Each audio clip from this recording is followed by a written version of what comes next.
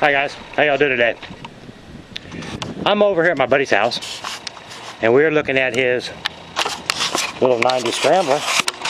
Rode the scooter over here and uh, look what he's got.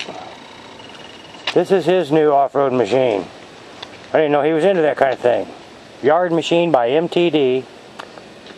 Look at this. 20 horsepower, 46 inch cut.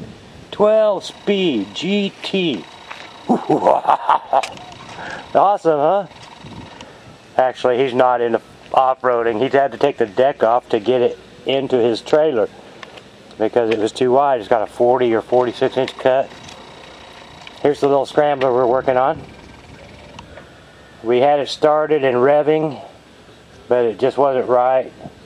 So we took the, and we couldn't get it started again. So we took the air cleaner off and it was just caked with mud. Look at this pile of stuff.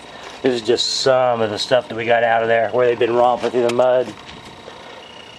And we got it clean, put back in, and then we tested the spark plug and it's just weak as it can be. So we're going to get a new spark plug before we go any further. Just because it was running and revving, I don't think the carburetor's gummed up.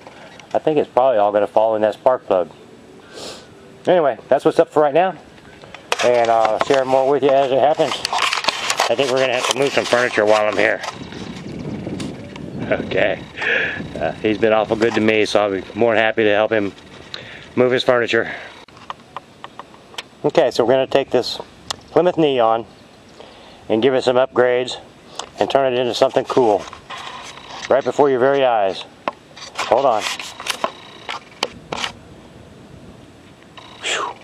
That was a piece of work. What do you think?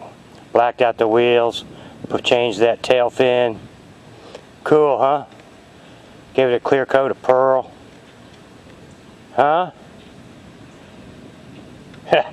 no, I'm just kidding, man. They're two different cars. They just happen to be sitting here.